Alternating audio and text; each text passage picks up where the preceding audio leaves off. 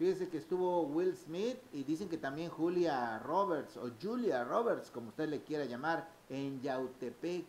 Están filmando una película. Ahí tiene usted alguna de las locaciones. Eh, este actor renombrado, actor conocido, actor eh, que ayer veíamos algunas imágenes en redes, eh, pues muy aclamado, la gente se volcaba para verlo. Dicen las crónicas que se hicieron desde allá, que sencillo, ¿eh? Sencillo, el actor de Hombres de Negro y de muchas películas. ¿En dónde ubicamos a Will Smith? ¿Qué, qué tipo de, qué categoría de películas? A ver.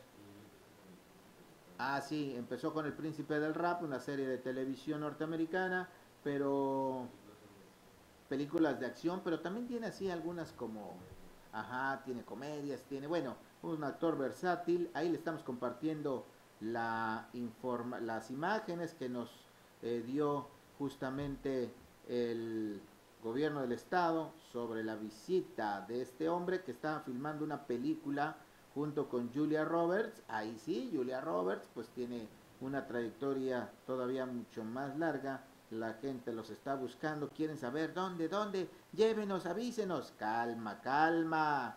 Si nosotros sabemos, se lo vamos a dar a conocer. Están grabando escenas de la película en la hacienda de Huacalco, en Yautepec. Así es que eh, es la grabó ya escenas para la tercera parte de la saga Bad Boys. Así es que la directora general de la Comisión de Filmaciones en la entidad, Alicia Castillo Baraya, confirmó que este rodaje, eh, bueno, confirma que es Morelos, apuntala como sede, bueno, eso ya lo sabemos. Agregó que originalmente se grabaría una sola escena en la hacienda de Huacalco, sin embargo, sin embargo se amplió a tres escenas con el popular actor estadounidense. Pues ahí está lo que dice el gobierno. La primera parte de Bad Boys se grabó en el año de 1995, tuvo una secuela en el año 2003 y se encuentra en proceso de filmación en 2019 para su estreno en 2020.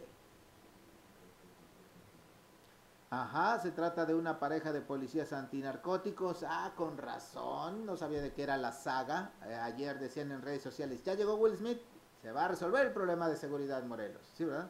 Así era. Bueno, así era la ironía, porque pues es una película y él nada tiene que hacer aquí, ni puede hacer, ni es policía. Pero bueno, bueno, lo tomamos con humor, está este importante actor. Y sí, efectivamente, el estado de Morelos es un estado preferido por sus locaciones